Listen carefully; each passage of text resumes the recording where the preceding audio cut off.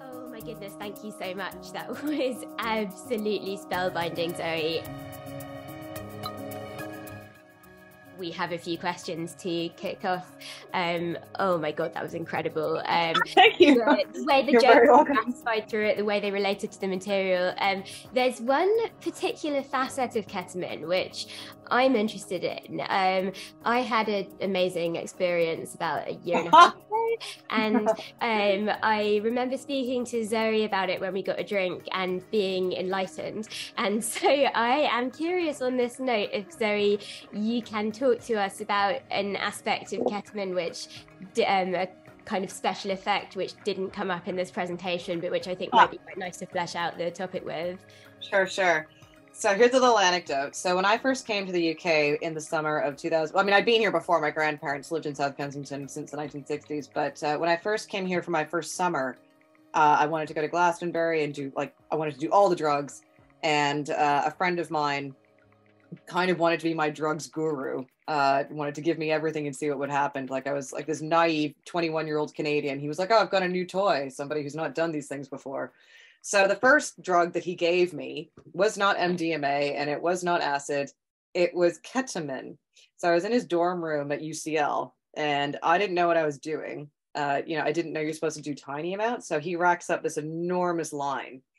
Uh, and naive Canadian me, naive Canadian me looked at this huge line. I'd never put anything in my nose, by the way. I'd never put in cocaine, anything. I looked at this huge line and I said, Is that going to be enough? And he's like, That'll be enough. So I do this massive line and I was like, ow, ow, ow. again, chlorine. I was, like, well, that didn't do anything. And he goes, give it a minute. And I was like, ah, da, da. so a K hold. It's the only time in my life I've K hold ever. Um, in the K hole, I forgot my name. I remembered his name. I turned to him at one point and I said, have I taken drugs? And he goes like, yeah.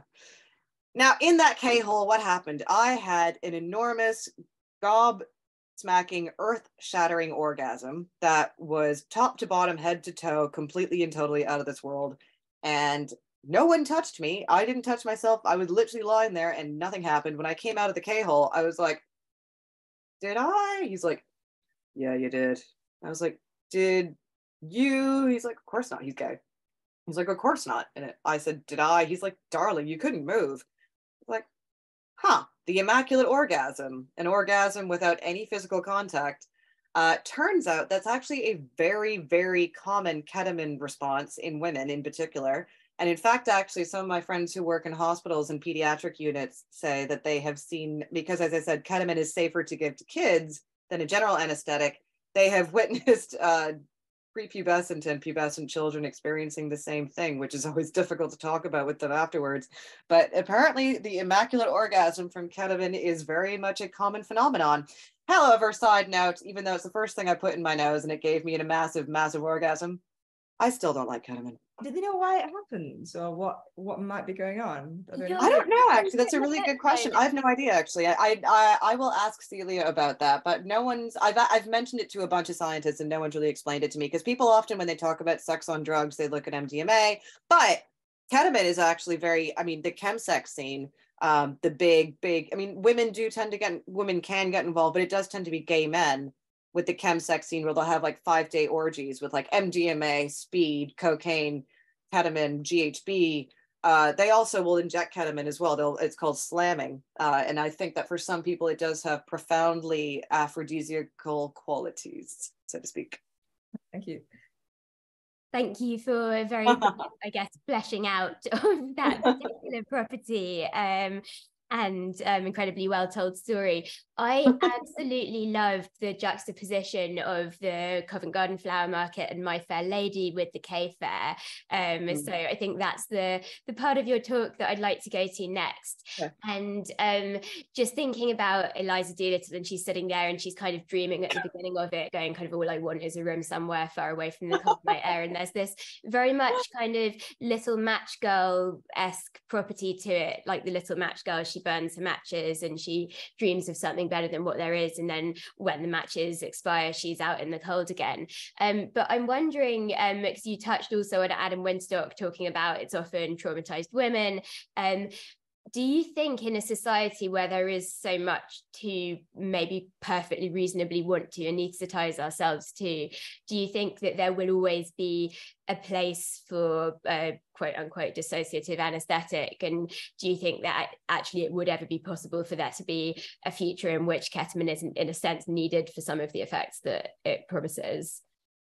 You mean as an anesthetic um, as something to kind of emotionally anesthetize um, one to what's going on. Do you think? Do you think there's? Do you think there's ever a way to kind of move towards a, a world and a mental health climate where there's not going to be an impulse towards that experience? Oh, I think in today's economy, in today's world, you know, uh, as they say, often what seem like insane reactions are actually sane reactions to an insane world um, and in terms of numbing yourself you know if we were to make ketamine illegal if we were to ban it if we were to get rid of it people would find something else to numb themselves. And you know increasingly i am bored of talking about psychedelics all psychedelics as miracle cures because nothing is a miracle cure.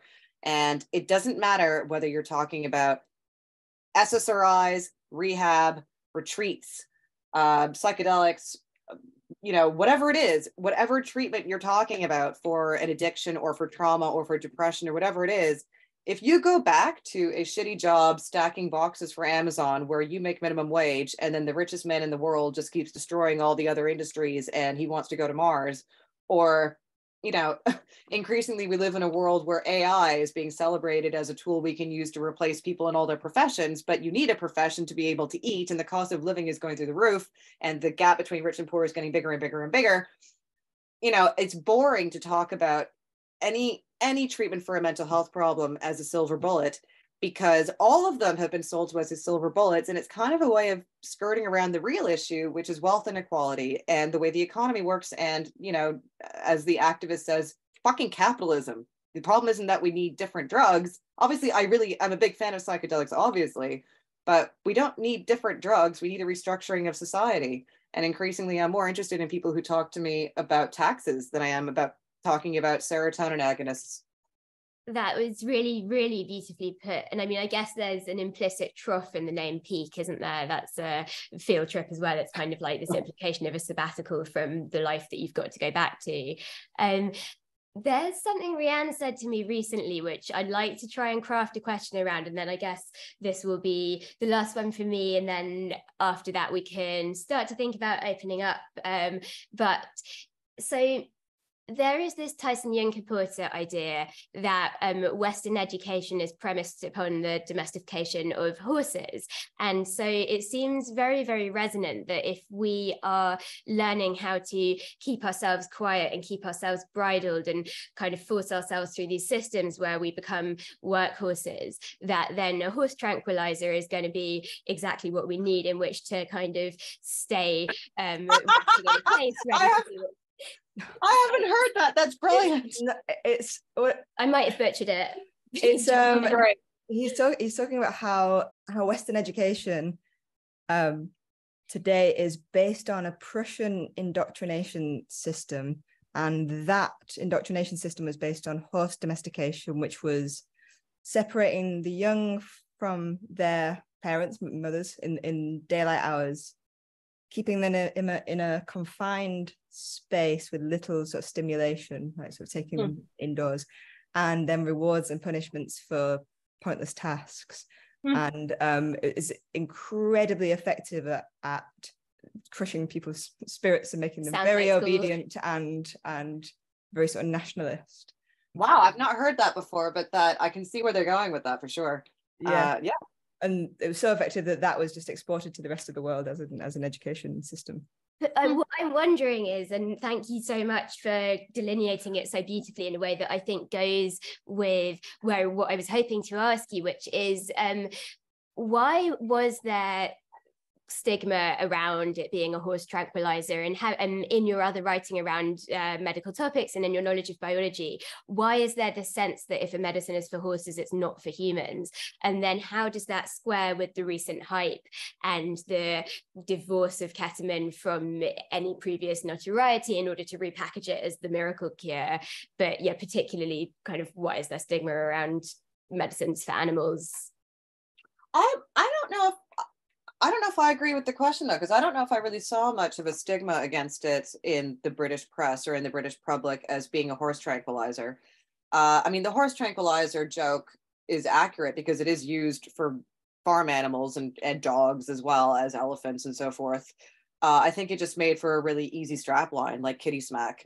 Um, but I don't know how much I want to blame the media Granted, I am a member of said media, so I do get really bored when people go on and on about mainstream media, the way they portray things.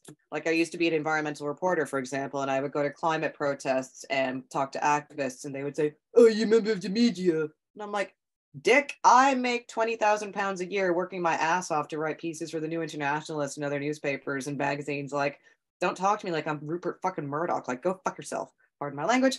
So I think that blaming the media is frankly a lazy shorthand and i see people do it all the time. You know journalists and the media really just project back to society what is projected onto it. Uh, i mean if you want to talk about media portrayal of things for example i think a really interesting contrast you know again going back to the difference between north america and the uk in the UK, there was always a lot of grumbling about the dangers of cannabis, marijuana, and the risks that it had in leading to early onset schizophrenia in young men.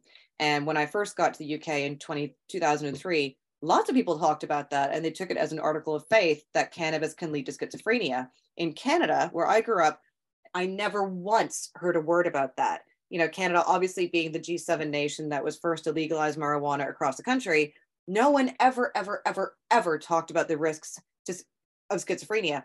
In Canada, what I grew up hearing was scare stories about MDMA.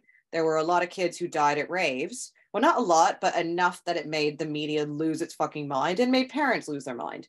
And as you and I were talking about, Roz, very often those kids died not really because of the MDMA, they died because of dehydration and sleep deprivation and every other impact on their body.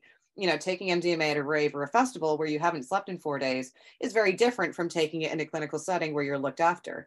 Um, but when I was a teenager in Canada, there are a number of scare stories about MDMA being super dangerous, about ecstasy pills being a, curse and a, a threat to the youth. No one ever talks about that in the UK.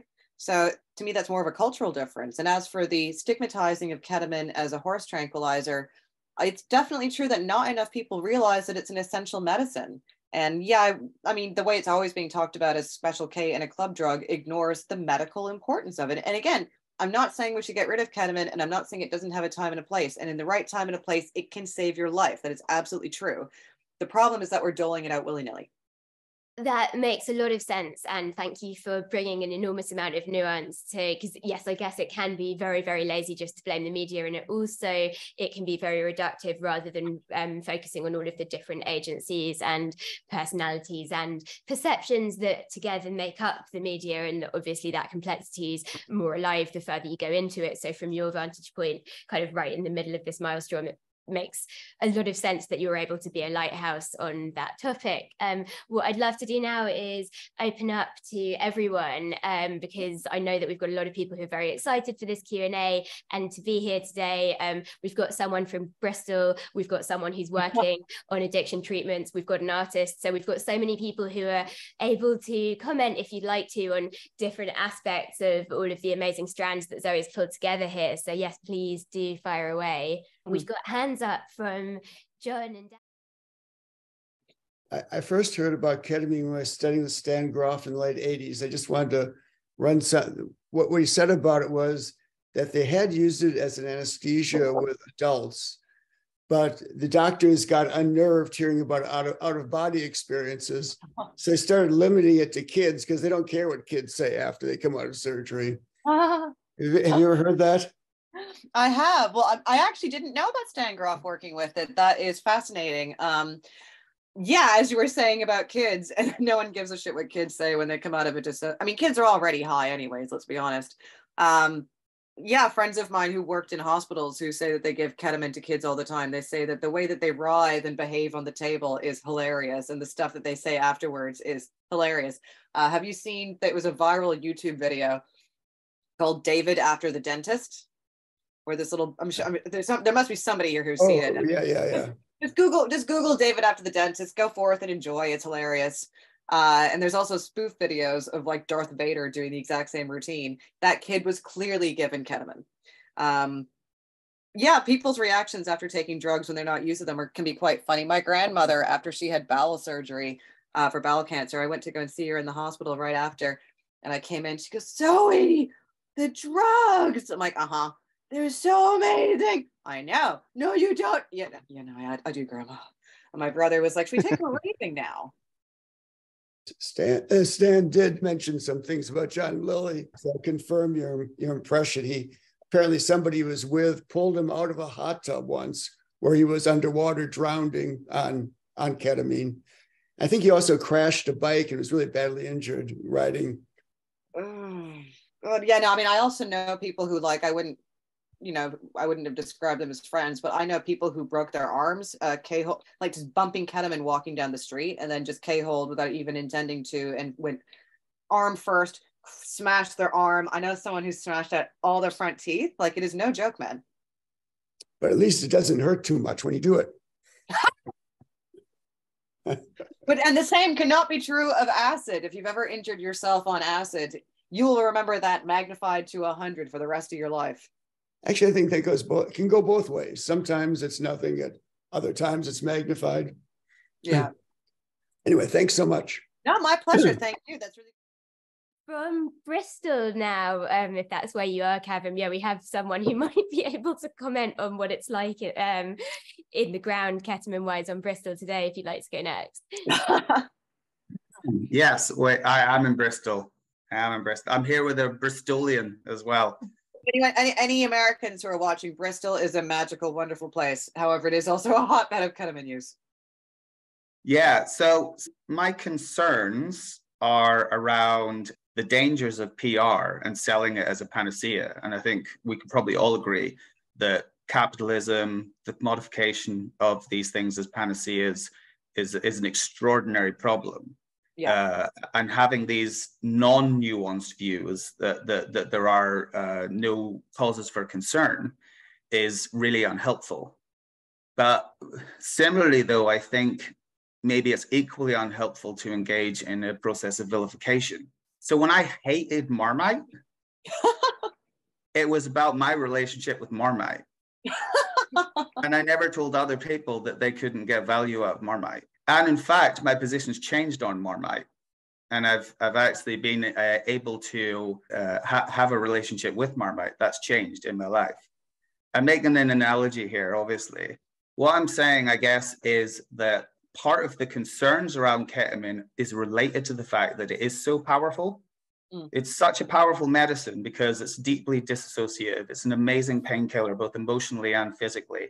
And this is one of the reasons that people are having an addictive relationship with it, because understanding addiction is about the root causes of addiction and why people are drawn to these substances rather than vilifying the substances themselves as the root because mm-hmm. So, why I think you're right in highlighting the fact that we need to tread carefully, and we absolutely do, it's because it's such a powerful substance I think that there needs to be some nuance around the possibility that part of the reason that it's so powerful and such a concern is also drawing us to the fact that it, the place that it might have if if if dealt with properly if engaged with in the correct way.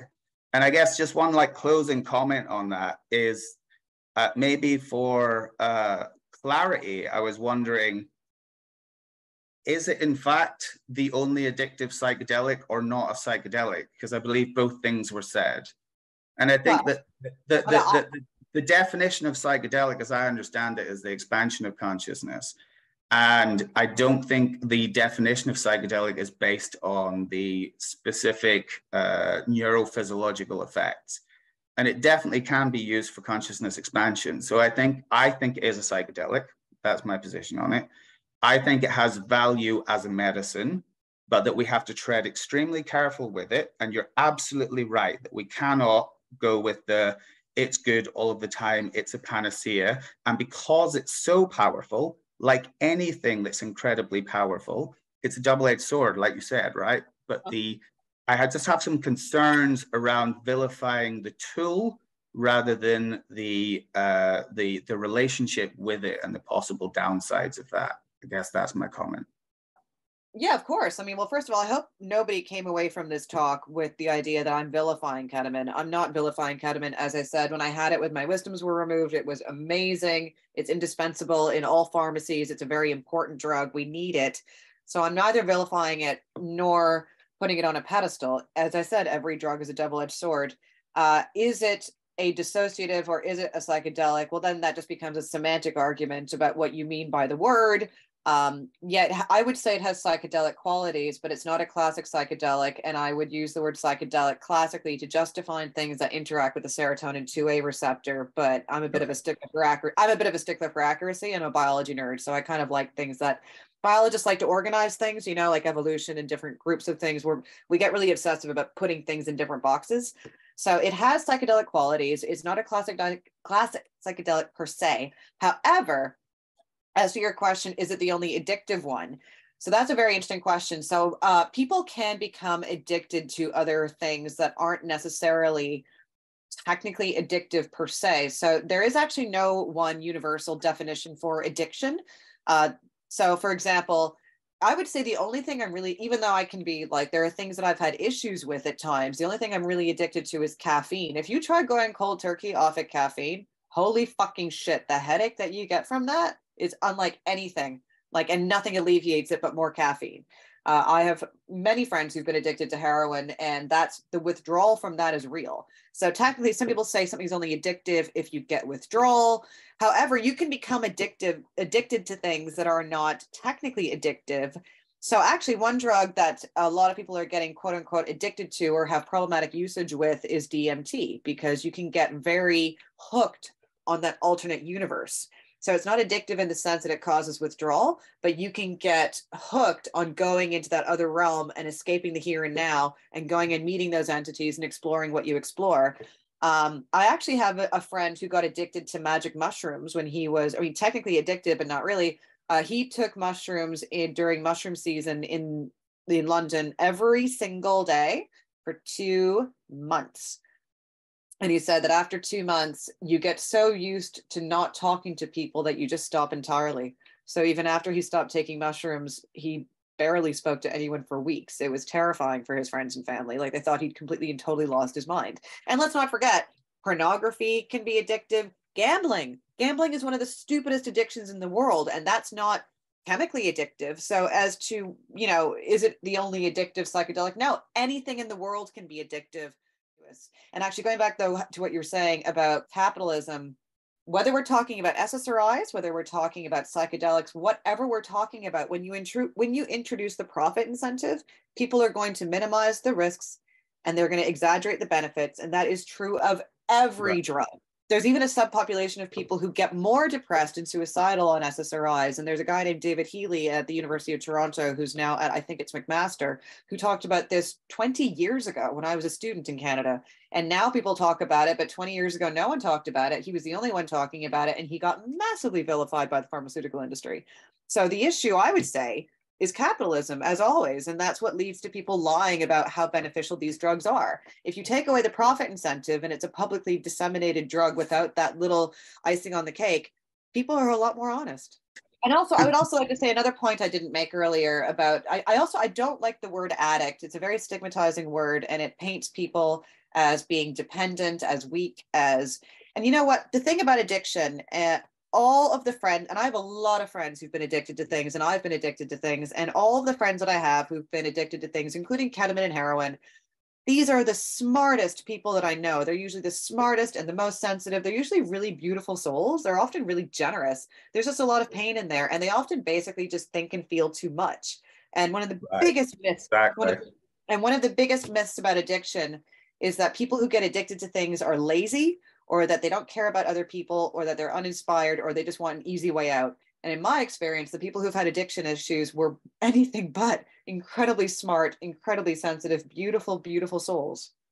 Really perfect point in the conversation to bring in both Emma and Clare because we've got a question up in the chat from Emma. I don't know if you'd like to ask it out loud or if you'd like me to paraphrase it, but Emma is asking about addiction. And then we've also got Clare with us who does incredible work um, on addiction. And I'd also just like to point out before we go into this that there's an amazing point Zoe makes in her book, um, which is it's one of those points where it's like, God, this is really obvious, but well, it needs saying before you realize it. But it's that we're not, um, we don't like the drugs in and of themselves. We like the drugs because of the neuropeptides they fire off. We want to feel endorphins, we want to feel oxytocin, we want to feel dopamine. And so we like drugs that do that. And it therefore obviously makes sense that we like sex, we like gambling, we like all of these other things that can fire off those neurotransmitters and, uh, and technology, all of these things that might make us feel good, but also have the potential to make us feel shit. So so with that kind of caboodle of elements, I'd love to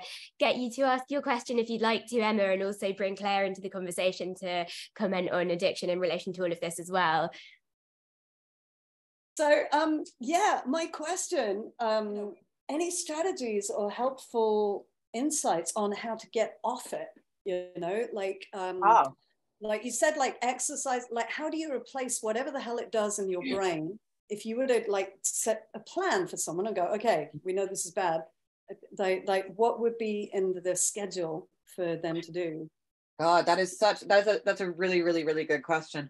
Uh, so first of all, I don't believe in Alcoholics Anonymous or Narcotics Anonymous twelve step program uh, because they're liars. They tell people that seventy five percent of people who go through the program uh, are cured of their addiction and that the other 25% are just inherently flawed. And that is not only scientifically unsound, it's also fucking cruel.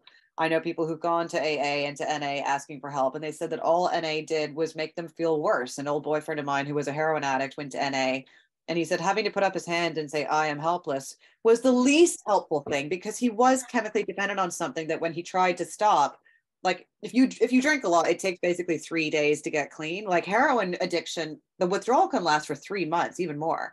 You know so being being told to say i'm helpless did not help. So i don't believe in the 12 step program.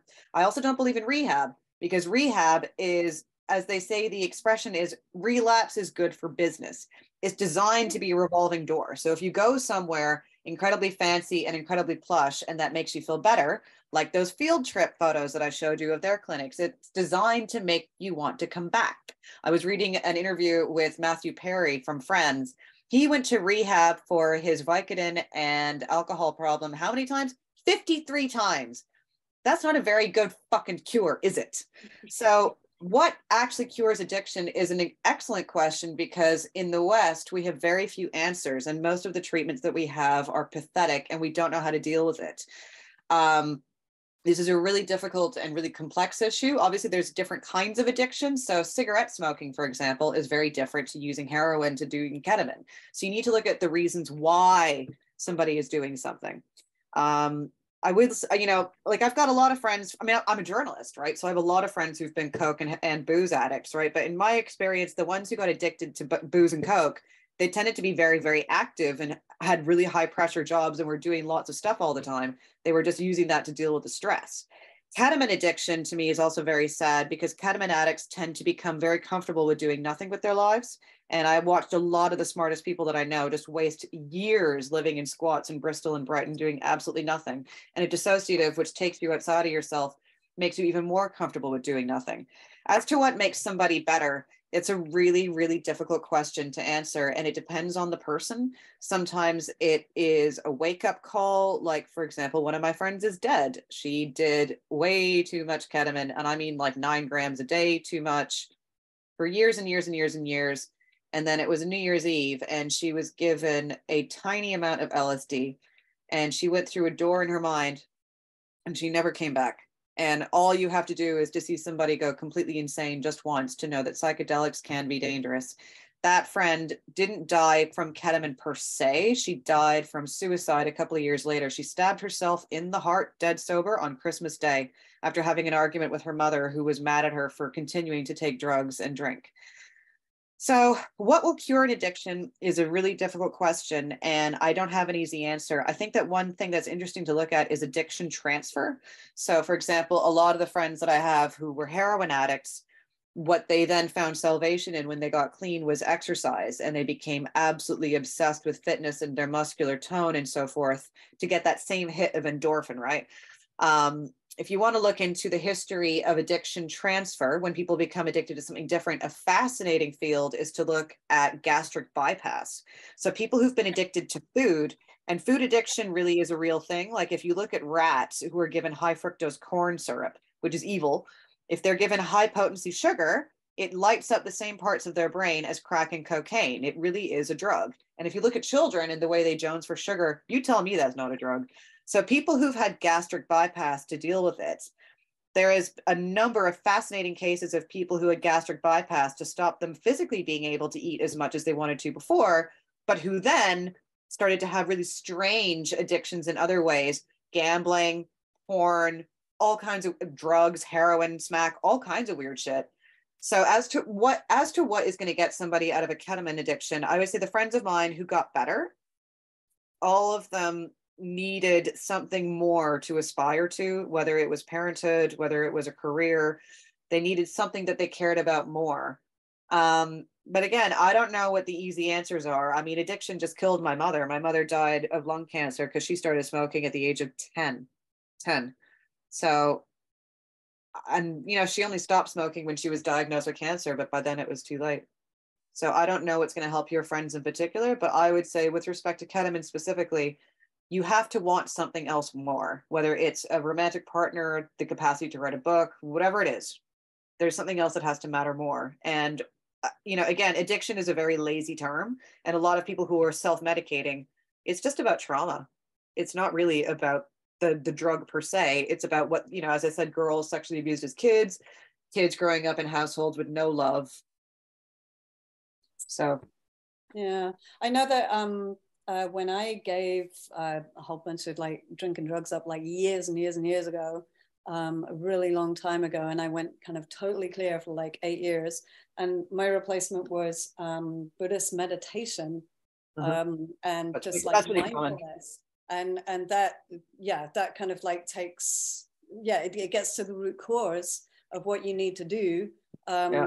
to yeah and yeah so i don't know but also achievement like needing something to achieve isn't it? You're right because they just kind of like waste around doing nothing mm-hmm. and it's yeah. like what are you doing? Where are you going? Like what are you achieving? And when you have something that you're passionate about and then th- there's like you know something chemical about that like you achieve something in the day and you get like a hit of I, I don't know dopamine or whatever and so there's something chemical in kind of achieving stuff i guess yeah, I mean, I certainly can speak from my experience. I mean, I'm, you know, a, a massive A-type high achiever, and I was a very, I was the youngest journalist at the biggest call, uh, so the youngest columnist at the biggest newspaper in Canada when I was 25, and went right out of university and doing a lot of stuff.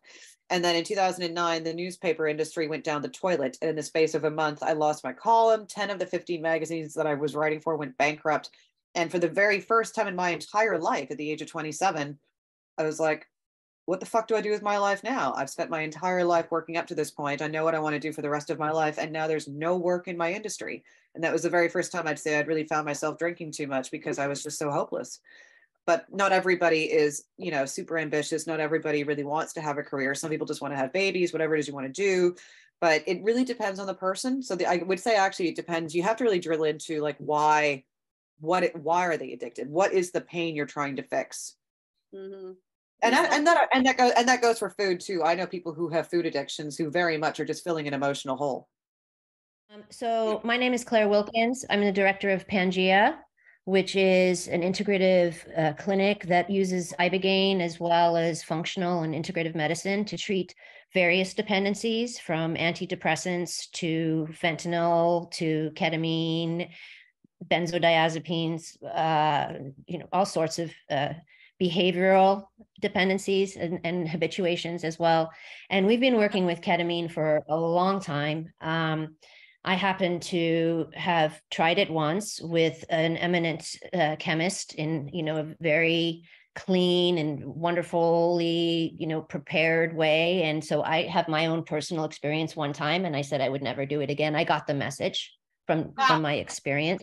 Um, and uh, the, the chemist with whom I was doing the, the, the medicine and after I came out of the experience and my mouth stopped being so numb and all of that, and I felt myself coming back into my body, said, So do you want to go again? And I just, you know, I used to be an intravenous heroin user and a methadone patient before I found Ibogaine, and Ibogaine completely transformed my life. And I've been working with Ibogaine for 18 years. And I'm also a board member of GITA, which is the nonprofit for Ibogaine therapy. And we do a lot of, I do a lot of, of consulting uh, with different people who work with uh, in the in the field of addiction and dependencies. And um, with ketamine, what is really interesting to me is that I don't think it was mentioned, but it binds and has affinity for the mu and the kappa opioid receptors. If it does. So is something really important to note. This is, you know, and I remember when I first at the very beginning of, you know, my entry into working with psychedelics, seeing ketamine on the list of all this poster and ketamine was there and I was just like why is ketamine it's this synthetic it's it's an anesthetic it's like it didn't register for me yeah. until I finally took it and uh, I mean I took other people's word for what they said but until I finally took it and had a very I had a vis- visual experience I had an out of body experience I got messages I received messages that were didn't seem from my own brain you know what I mean and um and i got clear. I, I it was very clear. And i also formed a giant pimple on my breast afterwards and it was just the most awful synthetic creepy feeling. But there is a, benefit and for anybody i'm firmly of the belief that how we want to treat our bodies is our right and and and and and and nobody else's business. It's our you know uh fundamental right to numb ourselves how we want to numb ourselves, to please ourselves how we want to please ourselves, and that it is a societal issue, as Zoe was saying. You know, that a lot of the people that we have worked with that became dependent on ketamine are professionals, physicians, scientists, psychedelic pioneers a lot of people talk about the spirit of ketamine and how they feel connected to and i believe there was a gentleman earlier talking about or someone brought up a question of how people feel connected to god they feel that they have spiritual awakenings with ketamine. And then what occurs is it is you know dependency inducing. It's binding to it's it releases dopamine really quickly in the same way that cocaine does and various other you know nicotine administrative you know uh, substances do. And so with ibogaine as it upregulates dopamine and it disrupts we we have been able to uh, take care of quite a few ketamine dependent patients over you know the last couple of decades. And um, just in the same way that ibogaine works for opiates so well you know yeah. it interrupts the dependency. And with, with ketamine there's not as much of withdrawal symptoms that are physical. There are you know of course there's the renal fa- failure there's um, you know anxiety there's tachycardia there's sweating but there's an intense craving. That's the largest withdrawal symptom. It's like with cocaine, there's not really a whole lot like there's depression with cocaine. You know, it's not like the physical, physiological symptoms, the physical symptoms that opioids have. And with ketamine, it's this intense craving, craving, craving, craving. Yeah. There's, this, there's a psychopharmacological aspect to ketamine that's very pronounced. You know, there's this some neurochemistry that really needs to be attended to. So, Emma, when you were asking about it, you know, it's like telling people to, to go and exercise or find something that is a replacement therapy is very difficult for people with ketamine because they really feel like they've reached like god level. You know i mean john lilly is an extreme example um, yes. But then I've seen it with tons of our clients, you know, they feel like they've reached this ascendant level and they need to keep going back there and they need to keep going back there. Yes. And they're so numbed out, they don't see how ridiculous that it that that it that it seems to other people. It's like just like an evangelical church yeah. leader speaks in tongues and you know says that they can take you to heaven or whatever it's it's it's, yeah. it's often like that and then people on ketamine speak gobbledygook and things like that you know the glossolalia and things so yeah. that's my answer is just that you know and i'm not saying that ibogaine is the exclusive solution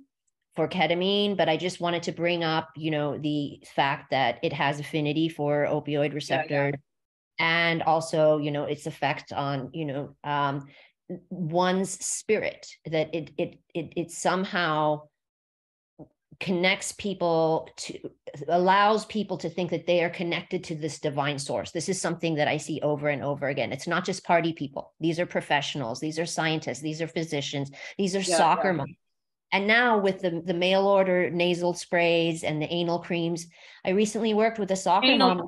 you know and she was putting anal cream ketamine anal cream on herself three times a day. And when we spoke she you know she goes oh my god. And she had been clean and sober quote unquote. She had been a former uh, opioid user 10 years before and we had treated her for ibogaine she'd become a mom and a business owner and all this stuff and she had had a bit of depression and the, the doctor prescribed her ketamine and she was putting the cream on and then she couldn't stop she just yeah, couldn't yeah. stop because it's very dependency inducing. And we did an Ibogaine treatment with her, you know, and it was yeah. re- relatively quick and she was over it, you know, uh, very, very rapidly. She had the experience of having Ibogaine before.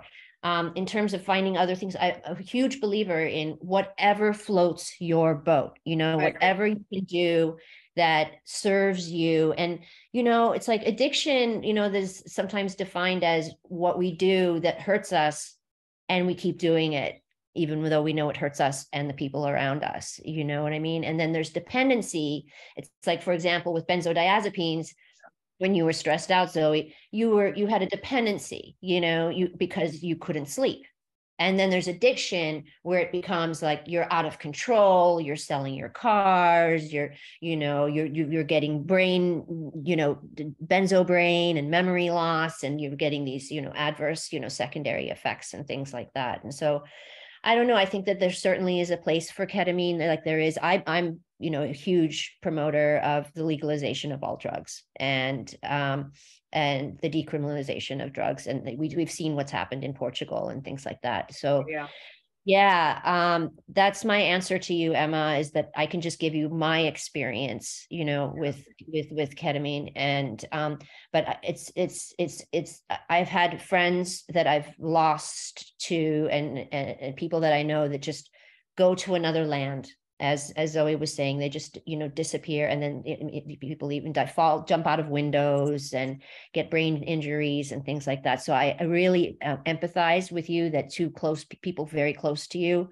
are in this situation because it's they're they're anesthetized to you, to society, to life, and so you're you've already kind of feel like you've lost them and so being able to penetrate to them and say you know there are solutions and you know do but the other question is do they want to stop some people really just want to keep using heroin no. some people just really want to keep drinking or whatever yeah, yeah, yeah. you know so that yeah yeah so first of all clare very nice to meet you i've seen your name before many times uh, so if you want to talk about ibogaine uh, so I spent two years writing that piece for Rolling Stone magazine.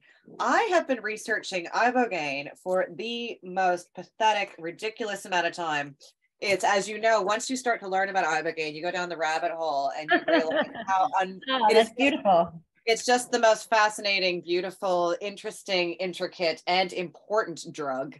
Uh, so those who are, I'm sure everybody watching this knows what ibogaine is, but it's widely used in the Caribbean as a treatment for opioid dependence and addiction. But it's also known as a universal addiction disruptor. So it will work with ketamine addiction, but it will also work with smoking. It will work with caffeine. It will work with drinking. It will the most important thing that it does with heroin addiction is that it gets rid of withdrawal. And anybody who's been addicted to heroin will tell you that the withdrawal is the biggest thing to getting clean.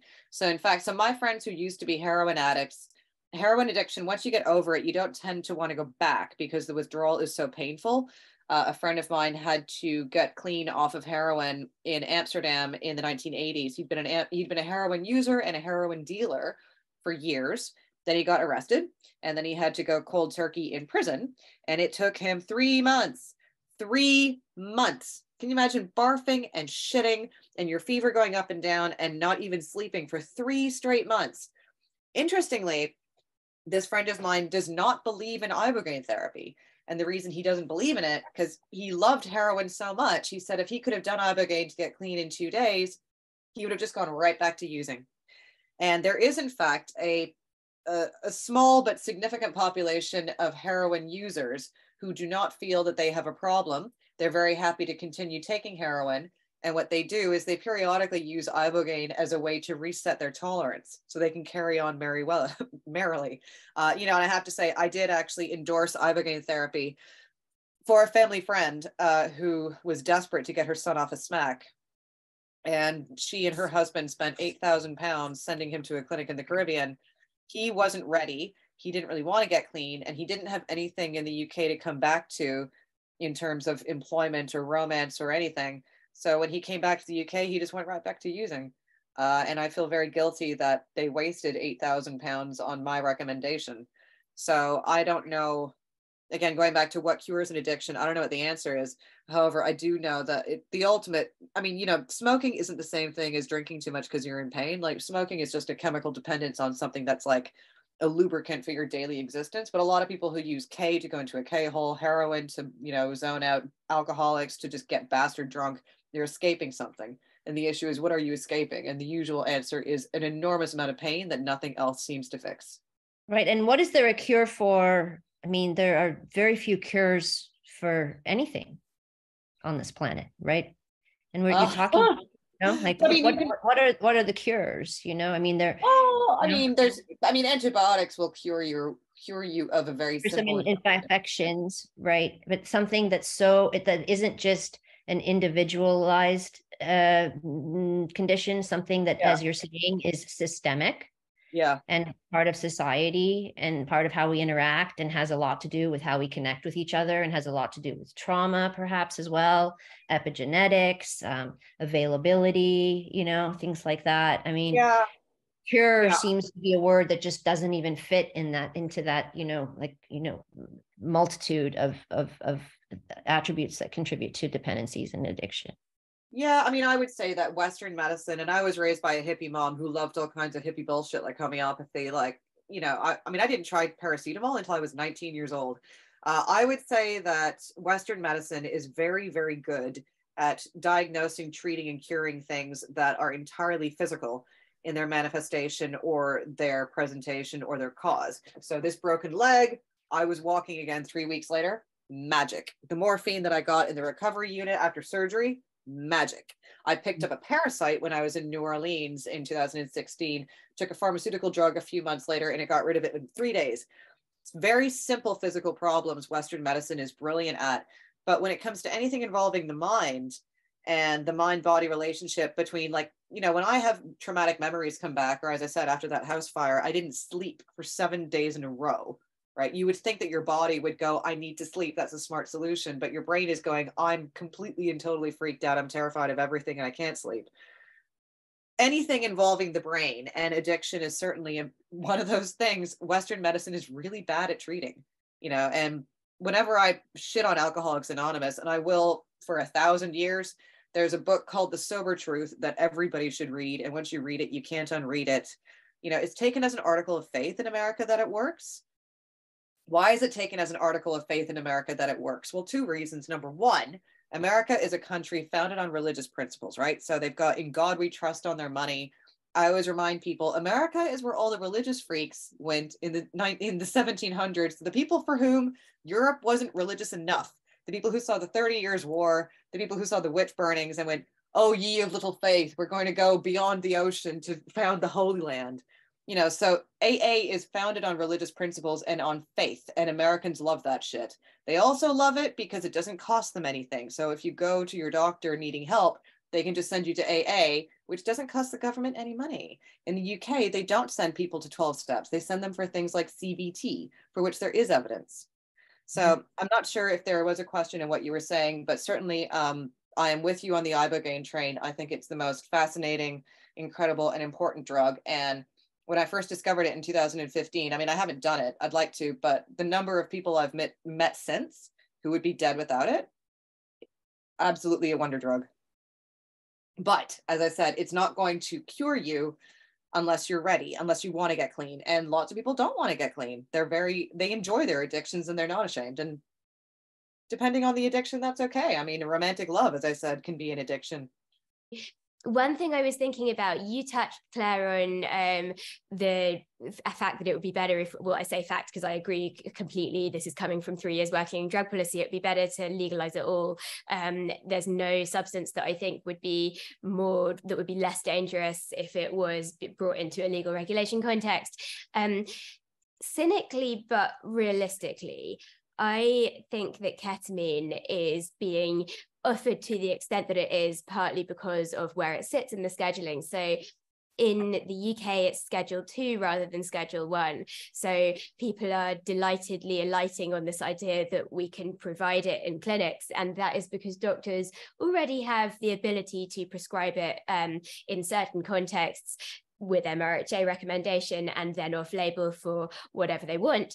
So um, it occurs to me that these policy permissions, um, which are not coming into focus in a lot of the media coverage, are a really big part of why we're seeing this rash of clinics springing up. Um, and what I would love to ask you, Zoe, is whether you think that there's any danger of what looks set to happen with ketamine um, marring efforts to get towards decriminalization of all substances overall, putting the rest of psychedelic research and rescheduling into jeopardy? Like, what are the risks there of everything capsizing because of ketamine being the substance to rock the boat?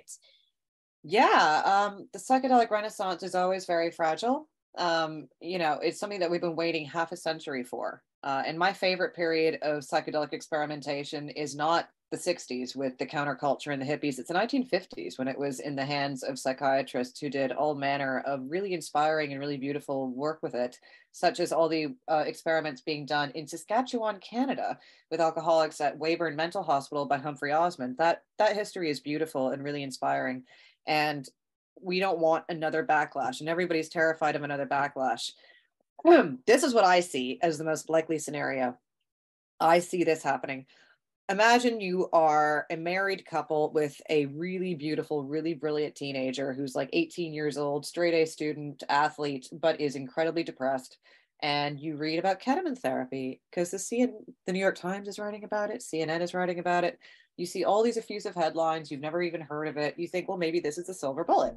You send your kid for ketamine therapy. The kid seems to get a bit better. Then they get worse again. Maybe you send them back again for ketamine therapy. If you've got a smart kid, it's not going to take them very long if they're a digital native to figure out how to get ketamine off the dark web. That then leads to problematic use and addiction. And it's only a matter of time before people start dying, whether they die dr- drowning in the bath, whether they dry, whether they die in a car accident. Uh, there's a, a lot of different ways that ketamine can kill you. Even if it doesn't make you have an overdose, it can cause an incredible amount of damage. So all it's going to take is one dead kid, if we've got one dead, beautiful, smart, white kid, it's America, got one dead kid, and say that kid had a lawyer for a dad and a doctor for a mom, and they're educated and they're wealthy, and they are out for blood. That's all it's going to take is one dead kid to become the poster child for how psychedelics can kill you. And I'm not saying if that happens, I'm saying when that happens. The risk is that everyone's going to think of every other psychedelic in the same way that they think of ketamine.